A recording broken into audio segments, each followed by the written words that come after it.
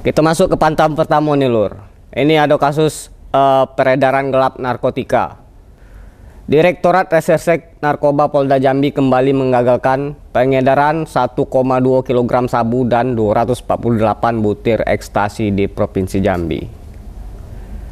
Pengungkapan ini dilakukan selama dua pekan pertama di bulan September 2022 nih. Ha. Kayak mana pantauannya? Kita tengok sama-sama di pantauan Bang Jack.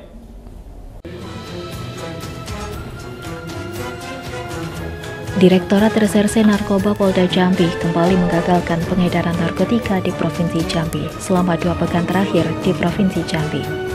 Ada lima kasus yang berhasil diungkap polisi dengan barang bukti sabu 1,2 kg sabu dan 248 butir ekstasi dengan total 6 tersangka.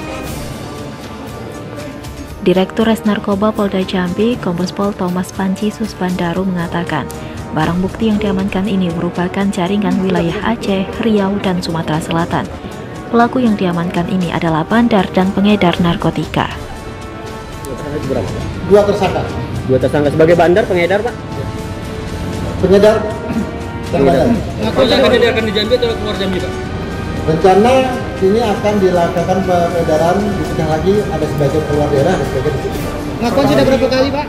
Kalau pengakuan Atas perbuatannya, para pelaku dijerat pasal 114 ayat 2 dan atau pasal 112 ayat 2 Undang-Undang RI nomor 35 tahun 2009 tentang narkotika dengan ancaman minimal 5 tahun penjara dan maksimal 20 tahun kurungan penjara. Dimas Sanjaya, Jack TV melaporkan.